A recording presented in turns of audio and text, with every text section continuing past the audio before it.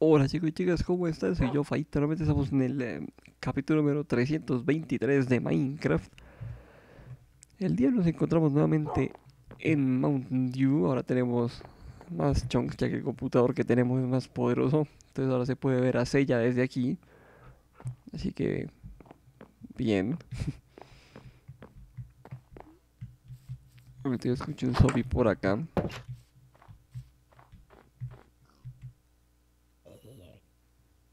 Allá se quemó, allá murió. Bueno, siquiera no. Entonces, les voy a mostrar finalmente qué hicimos para Aroth en este capítulo.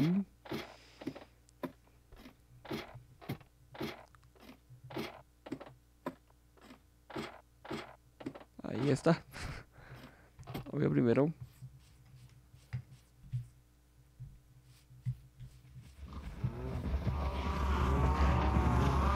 Creepers por ahí? No. Entonces, bueno, aquí está el corral que le hicimos a Aroth. Uno puede entrar fácilmente y salir. ¿Qué se dice Aroth? Está amarrado, tiene su trigo. Y pues sí, tiene su interesante diseño el, el lugar. Lo cual me parece que está bastante bien.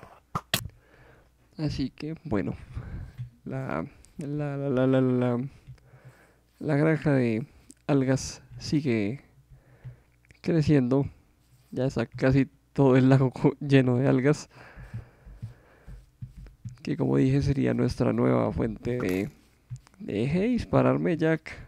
Nuestra nueva fuente de combustible. Y pues también hay que, proce- eh, hay que proceder a mostrarles otro trabajo que terminamos. Ya, de hecho, ya estaba terminado del capítulo pasado, pero por toda la aventura de Aroth, pues no la mostré. Entonces, pues allá iremos sin Aroth por ahora. Entonces, bien. Mientras vamos para allá, entonces, pues, ¿qué les puedo contar? Primero, ya terminé Yu-Gi-Oh! Fueron 224 capítulos, linda historia, toda la vaina. Y pues ya se nos acabó, entonces ahora ya no tendré más noches de anime en las que oiga Hora del Duelo. Lo cual está medio sad, pero pues todo llega a su final. Y ahora que pues acabé Yu-Gi-Oh! La serie que planeo empezar a ver es Samurai Champloo. Entonces, pues ya veremos qué tal está. Y lo otro es que eh, mi universidad, para los que no saben, yo soy de la Universidad Javeriana, pues ha estado en una racha, pero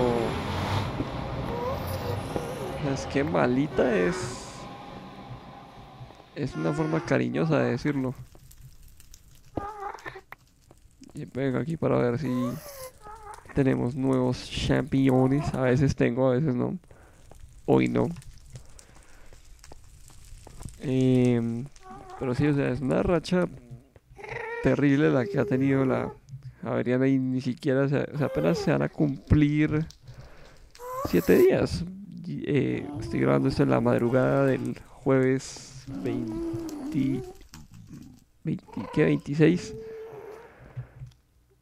Porque digo que la Javeriana está en una racha, pero pésima. Volvimos de semana de receso. Y el jueves ocurrió la trágica noticia de, de Jonier Coronado. Y que fue pues un estudiante de, la universidad que lamentablemente tomó la decisión de quitarse la vida. Que a mí sinceramente me, me pegó. Eso me pegó en el en el vientre porque eso fue como feo, porque es que en alguna triste época oscura, ya lo he contado también aquí en el canal, yo alguna vez tuve pensamientos así, así que verlo me hizo pensar como ese, ese pudo haber sido yo varios años atrás. Y pues tristemente ahora tengo la imagen de, del, del cuerpo eh, impresa en la cabeza. No lo tuve ahí pues enfrente así como yo aquí a esta distancia del bloque. Pero sí lo vi y, y ahí se me va a quedar. Luego de eso, el viernes, pues debido a lo, a lo que pasó el jueves, el viernes, entonces fue todo un ambiente caído. El día estaba gris oscuro, o sea, no eran nubes negras porque las únicas nubes negras que existen son las volcánicas. No eran nubes negras por eso, porque no era un volcán. Y qué día tan oscuro, frío, lluvioso y realmente el general de todo, en general el ambiente de todos en la universidad estaba caído. Y ya paso a decir qué más es lo que pasó. Primero que nada, entonces vamos a entrar aquí a este portal. Al de Shangrianita. Como digo, esto ya estaba terminado desde el capítulo pasado, pero no lo mostré. No porque no quisiera, porque no estaba terminado, sino porque se me pasó. Así que, bienvenidos a la nueva Yamura ya Shangrianita.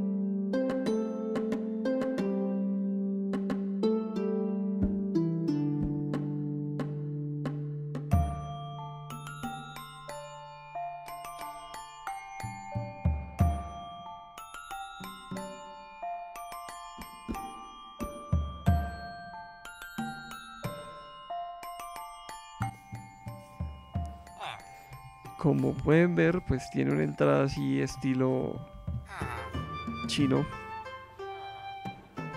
Eh, no es una muralla muy alta, pero también es segura. Exactamente lo que yo siempre busco en una muralla. Que sea antiarañas, primero que nada. Y segundo, pues no es como que pueda meterse cualquiera. Aparte, pues mire, aquí están las entradas para poder entrar y salir toca pues abrir ambas cosas. Lo cual está bien. Con un solo mapa tuvimos para tener toda la aldea. Aquí los aldeanos son bastante blabladores. Hay una zona por acá donde quedamos básicamente con techo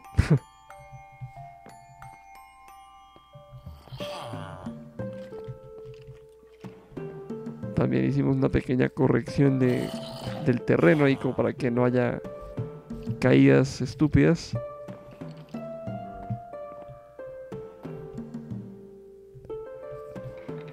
Pero si aquí abajo hay una cueva, es probablemente, sí, es probablemente donde estoy escuchando todas las criaturas, pues sí.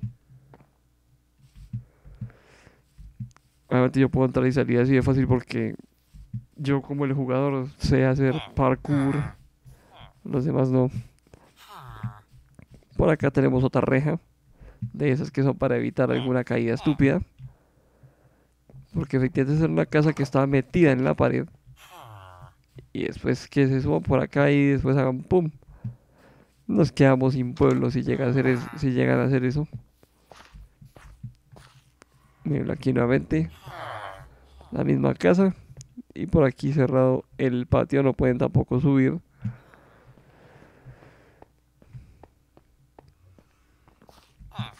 Luego encontramos esto también. Esta, les corté aquí todo este pedazo de montaña para que no se pudieran subir acá. Está yendo de noche, así que ya están huyendo. Aquí les puse rejas para que no se vayan a botar a los cultivos y se lo tiren todo. Aquí este balcón también evita que se lancen por, por acá, por las alturas y se maten. Eh,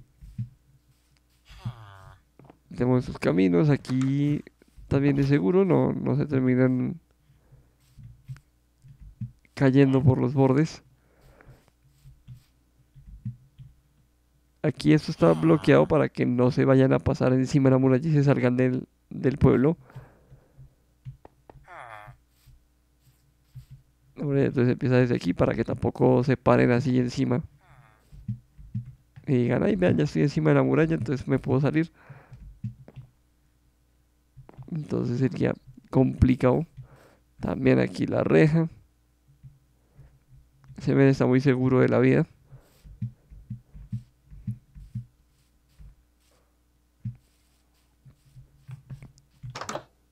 Ya tenemos un dormido. Tenemos un dormido.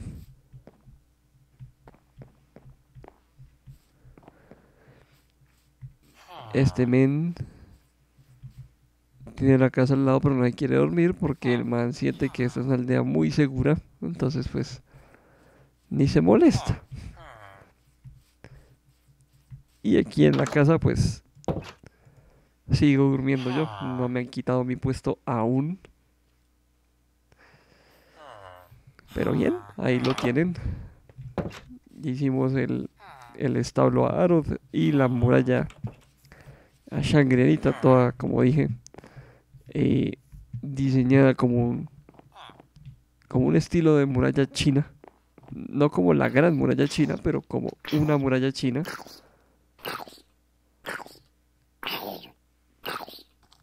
Pues cuando quiera se muere, son bien no, no me murió. Eh, estoy seguro, sí.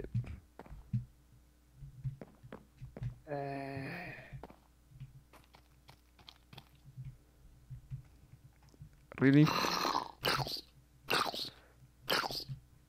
Bueno, no, ya estaba quemando ahí. Y bueno, entonces. Au. Entonces, efectivamente, aquí tienen la, la aldea. Me, me gusta cómo quedó. ¿Ustedes qué opinan de las rejas de seguridad, las escaleras y la, la muralla, la entrada? Todo. ¿Ustedes qué opinan? ¿Les parece que quedó bien o que quedó un asco?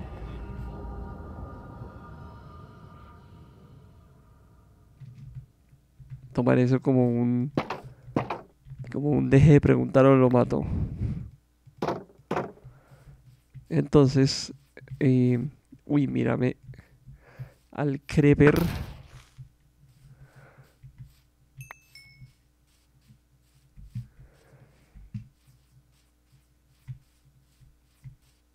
Entonces, eh, volviendo ahora sí al tema de, de la Javeriana. Entonces el lunes, eh, lo que nada, el domingo estaban enviando por, por WhatsApp un montón de mensajes de, de gente que al parecer eran los conductores, porque aquí en, Colombia van a hacer un paro nacional de conductores, que también es por una razón bastante interesante, no Todo la- todos los paros suelen ser por razones supremamente egoístas, pero las quieren camuflar como razones completamente altruistas, desinteresadas y por el bien común.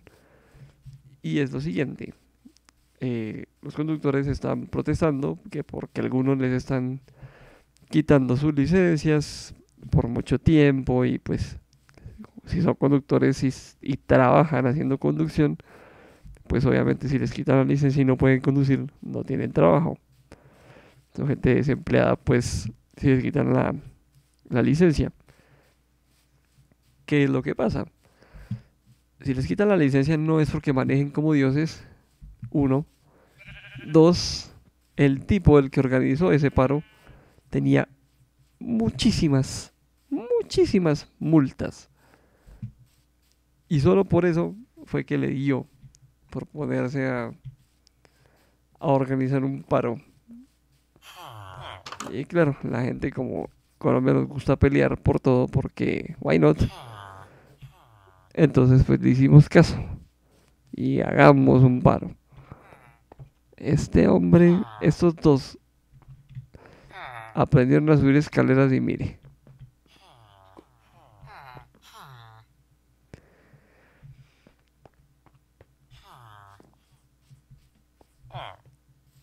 Entonces sí, el Cucho que tuvo la, la osada idea de convocar a una a un paro nacional de conductores, pues fue por eso, el hombre tenía muchísimas multas, pero entonces el man estaba diciendo que, claro, que por las multas le iban a dejar sin trabajo, y que por favor, que simio no mata simio, que hay que apoyar al hermano que lo necesita, pero pues ahí, ahí tienen. Entonces, el lunes, bueno, el domingo, recibimos un montón de, mensajes. Vine aquí a la ciudad porque estoy viendo cómo voy a hacer la muralla, ¿no? Aparte, marica, porque me está dando lag. La verdad estoy pensando es cómo voy a hacerlo aquí en las dos zonas del agua.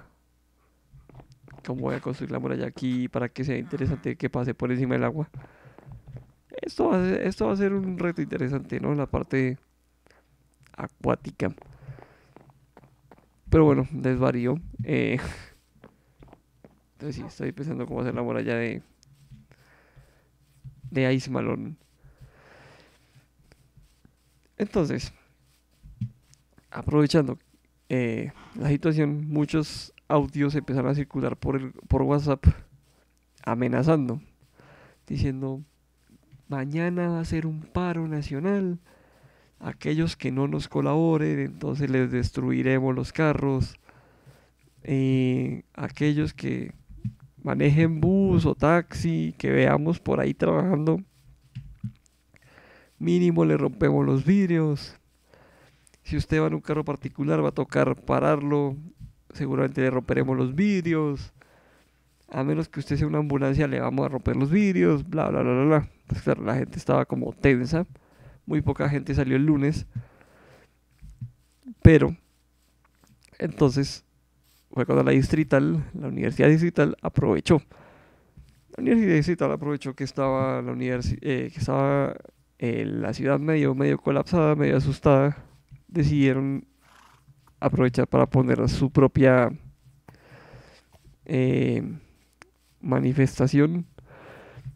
Y esto es porque hay corrupción en la en la universidad distrital, en, los mandos, ¿no? O sea, no, no son los estudiantes, claramente es en los altos mandos los que mandan, hay corrupción, y decidieron aprovechar para protestar acerca de eso. Al parecer, eh, por lo que hay tan poca gente, por eso el paro de conductores, muchos profesores cancelaron clase, ahí me cancelaron todos mis profesores de lunes la clase cuando llegué a la universidad. Y pues bueno, digamos que perdí el viaje, pero ni modo. Apenas nos fuimos, empezaron a, a haber unos pequeños problemas. Estaban empezando a lanzar granadas aturdidoras los del ESMAD, lo cual la gente que es estúpida llama que papas bomba. De verdad, se les ocurre que un grupo como el ESMAD va a tener papas bomba. Eso es un arma de que solamente tienen los imbéciles universitarios. Sean serios. Pero bueno, eh, los del ESMAD tenían sus granadas aturdidoras, empezaron a lanzarlas y se armó un medio caos, pero yo no estaba en la universidad. El martes sí estuve en la universidad, estaba en clase y todo, y se armó de verdad un bochinche muy feo eh, el rector de la distrital, según lo que tengo entendido, ordenó al ESMAD y autorizó al ESMAD a que se metieran allá a la distrital para sacar a los estudiantes que estaban haciendo manifestaciones. Como la distrital y la Javeriana solamente están separadas por una calle que es la séptima. Los de la Distrital para escapar se fueron y se metieron a la Javeriana. Y los del ESMAD, con esas mismas órdenes de que hay que parar los desmanes de la Distrital, pues comenzaron a lanzar sus granadas y el gas lacrimógeno a la Javeriana. los gases entraron al hospital San Ignacio. Mejor dicho, se volvió todo un mierdero.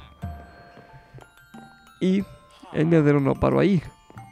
Lo hicieron hoy también, hoy miércoles. Y la Javeriana por fin poniéndose pantalones para hacer algo. Canceló clases miércoles y jueves.